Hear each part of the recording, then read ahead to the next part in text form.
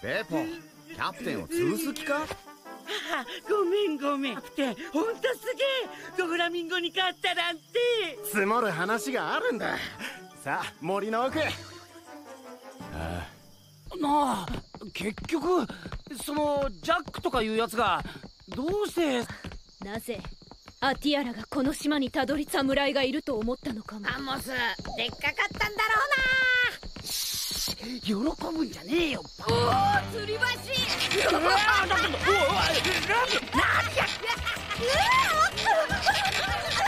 おい落ちます落ちます